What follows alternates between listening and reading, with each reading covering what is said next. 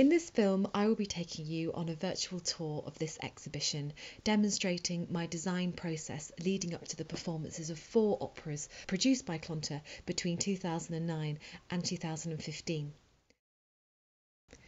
When you first enter the exhibition, on your left you will see four costume illustrations. These were commissioned for a costume workshop for Clonter's education and outreach programme, which I have been keenly involved with over the years. Groups from local schools have been able to have a go at designing their own versions of the characters of Carmen, Dr. Dulcamara, Queen of the Night, and Papageno. The first opera displayed is Clonter's spring production of Così fan tutte, which was performed in 2009. This was the first production I designed for Clonter, and it was also the very first opera I designed. If you're unfamiliar with the story, Così fan tutte, composed by Mozart, is about two apparently devoted couples. Their idealistic worlds are challenged by the cynical Don Alfonso.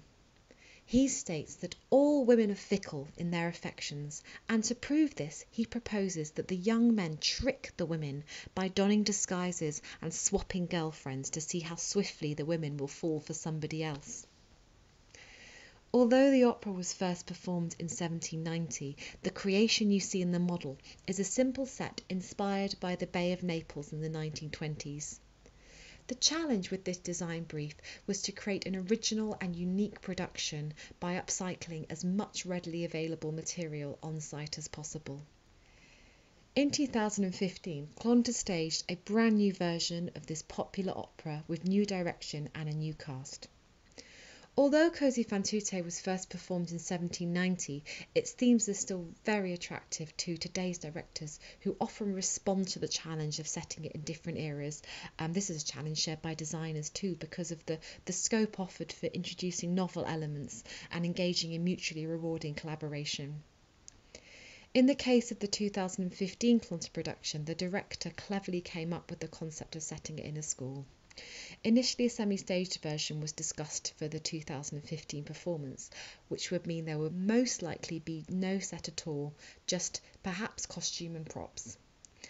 Nevertheless, the project became increasingly ambitious, um, and efforts were rewarded to the extent that this production secured a nomination for a Manchester Theatre Award in the Best Opera category for 2015. Set in the school for lovers, Don Alfonso is played as a wily school prefect and the two young couples as young pupils.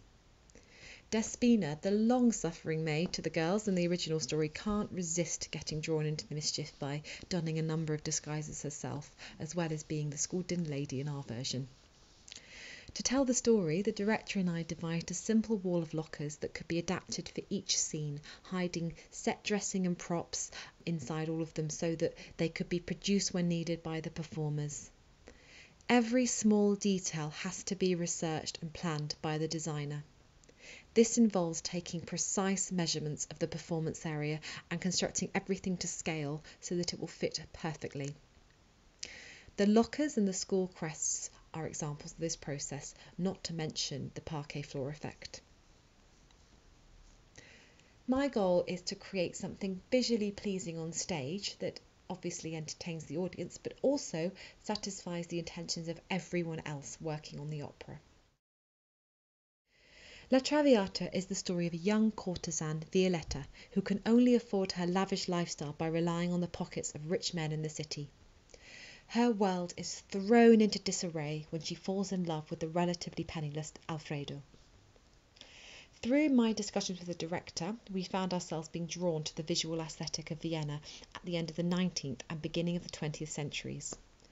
To convey the opulent world the characters would inhabit on stage, I took inspiration from the gold leaf that was used extensively throughout Vienna, adorning the grandest buildings, and also, in fact, used in some paintings by artists of the time. The gold metallic textures and explosion of symbolic riches cascading from the corner of the set, unlike real gold, is shown as the performance unfolds to corrode and rust until it is eventually peeled away in front of the audience's eyes. This corresponds to the deterioration of Violetta's health as the events of the tale unfold. When the story ends, the stage is left an empty shell, stripped of its former glory. I have combined my role as a designer with the job of scenic artist for all the productions at Clonter, although technically the two jobs are not one and the same. It's very easy to get carried away in pursuit of the look you're after, and one advantage of combining the two jobs is that it allows you to realise your own vision in the most perfect way possible. New designs often lead me to experiment with unfamiliar materials and techniques. Sometimes I just have to figure it out as I go. I experimented with all sorts of textured layers, such as metallic wallpaper, foil safety blankets, um, paint plaster, all sorts to get the effect of the walls. Model making helps me to figure out how the set will be created in its real size understanding how scene changes will happen and how to make props and scenic elements can be explored by trying things out on a small scale first. Model making is really important to me. It's when I get a real sense of how the space will work for the performance. It is an excellent tool for me to communicate with the director. I'm better at explaining myself with objects you can see rather than with words. A costume can tell the audience a lot about the character. I use my costume illustrations as a discussion point when exchanging ideas with the director um, and the wardrobe department. I also find it useful to just have the time out whilst illustrating them to think further about more technical and practical aspects of the project, for example. They mean a lot to me when they're finished because of what they represent. The final opera displayed in the exhibition is Hansel and Gretel.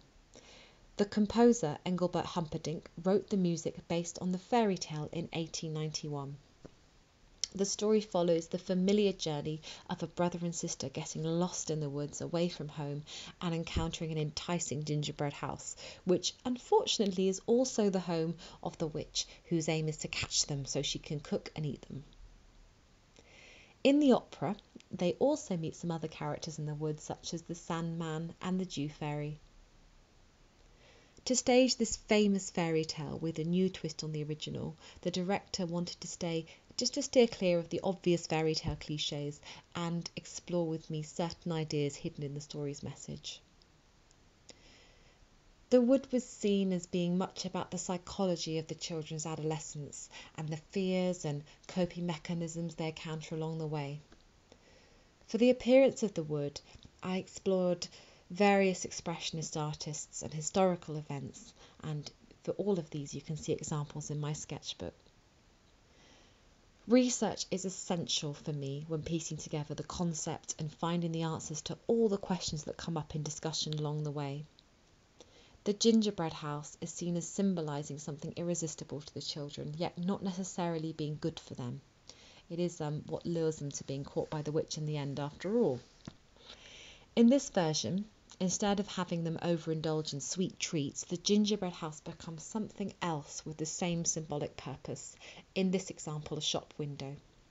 This is crammed full of brightly coloured disposable consumer goods of the sort that children simply can't resist. If you are yourself rather too keen on designer labels, you will understand. The witch is in control, interested only in profit, and knowing how superficial appearances will prove irresistible to, her con- to consumers. Her worthless ideas has turned her into a burnt out, over made up hag. Hansel and Gretel, of course, defeat the witch in the end, but not before temporarily succumbing to temptation. The technical challenge at Clonter was to transform the stage several times with easy and seamless scene changes, despite it being without a fly tower where scenery can be flown in and out from above. Act 1, set in Hansel and Gretel's family home, was designed to have a very structured and symmetrical form. This had to completely fold and pack itself away to reveal a twisting and winding wood full of dead ends, stairs that lead to nowhere, with menacing yet beguiling trees. Lighting played a huge part in creating this atmosphere. This opera was also nominated for a Manchester Theatre Award for Best Design. For me, designing set and costume is all about telling stories creating worlds and characters on stage which have the potential to be enjoyable for everybody. Working on a production can often feel like taking part in the drama itself. There's comedy, suspense, tension, and dare I say, even tragedy. And I definitely have examples of all of these, but stories set to music are perhaps the best of all.